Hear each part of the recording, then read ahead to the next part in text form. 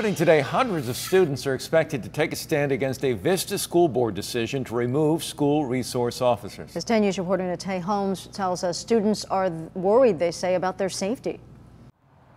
The students have organized a protest to demand school resource officers be restored to the budget after the most recent school shooting in Santa Clarita. Parents and students say not having these law enforcement officers on school campus can pose a threat to everyone. Now, during last month's school board meeting, the school board voted 3 to 2 to not restore law enforcement at the school sites.